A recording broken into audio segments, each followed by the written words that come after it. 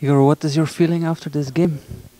My feeling only half time, you know, like this in this fight, and uh, after one week will be, I think, more harder game for us. So we must be ready. We must now have good recuperation, our our power, you know, and uh, after, of course, after one week, we must be better and uh, we must score, score. What what did we miss today uh, to score? No, maybe a little bit. No head luck, maybe, but it's football, you know. Uh, in one game, you, you, you can score three goals. Today we not score, but uh, for us, also important. Uh, Bordeaux also not scored. So now 0-0, and we have second half and chances 50-50. So we'll see after one week.